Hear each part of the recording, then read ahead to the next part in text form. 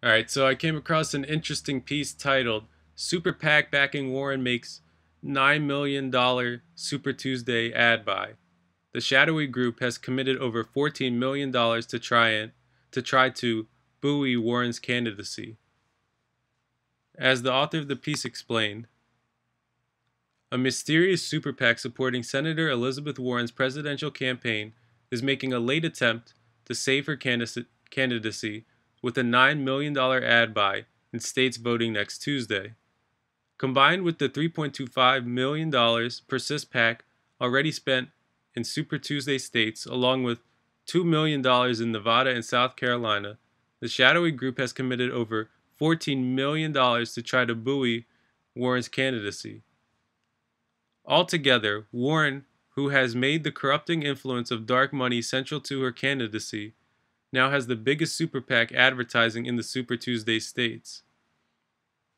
Asked whether the group had any comment on where the money was coming from, Persist PAC spokesperson Joshua Karp, or at least I think that's how you pronounce his name, texted back, No, sir. And um, so the ad buy is only in three states California, Texas, and Warren's home state of Massachusetts where Senator Bernie Sanders has made a late play. Um, yeah, so like this this super PAC thing Warren has going on. I mean, it's bad on multiple fronts. First of all, the hypocrisy for her to be like railing against big money the whole campaign.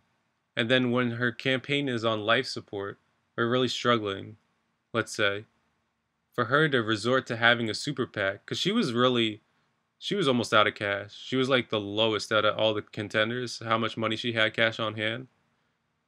So instead of sticking to her principles, she was like, all right, I can't get money from the people anymore. I guess I'm going to get a super PAC. But she said, I mean, if you think money in politics is corrupting, then it's corrupting. You can't take it yourself. Or the case you are making is either A, you're making a fraudulent case that you don't believe in, or B, you do believe it to be true, but you rather win and sacrifice your principles in order to do and you're willing to sacrifice your principles in order to do so. If she even had these principles. Because what we have to remember is even though she said she was running a grassroots campaign, she transferred, I think she even said 100% grassroots campaign. She transferred, I think it was over 10 million or around 10 million dollars from her Senate campaign, in which she raised that money via uh, those big money fundraisers it was like big money she transferred over to her presidential campaign. That's how she started it off. And also, she said at first that she was going to take big money in the general election and that she didn't believe in unilateral disarmament. But then I guess she got a lot of backlash. I know she got backlash from people on the left constantly and or progressives and she said, "Nope, I'm not going to take big money in the general election." Which I never really believed. Well, no, I never believed it. I just thought that she was saying it because she was just trying to compete with Bernie and Bernie Sanders in terms of being progressive. And that if she actually won the nomination, she was going to immediately flip it, uh, her position and say, you know what, nope, we got to win, we got to beat Trump, I'll take the money. So, this, what happened here, kind of makes me feel like my instincts were there's a very good chance I think I was right because look, as soon as she starts struggling, she she puts a super PAC, she gets a super PAC. And if we you don't if you didn't notice, where was it? Um look at this part. Warren now has the biggest super PAC advertising in the Super Tuesday states. The biggest. The person who, as the author of this explain, uh, piece explained, had made the corrupting influence of dark money central to her candidacy, now has the biggest super PAC advertising in the Super Tuesday states.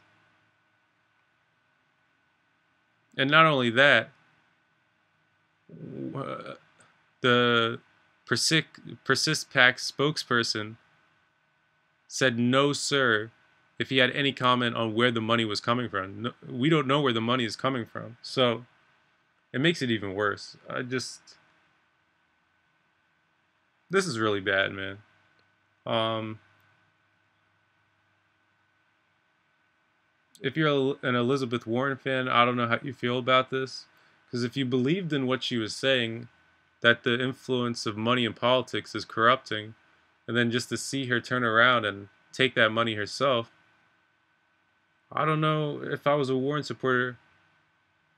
It's probably really hard to rationalize that in your head. So I don't know. This is not a good look. It's a bad move, and um, it's really sad to see.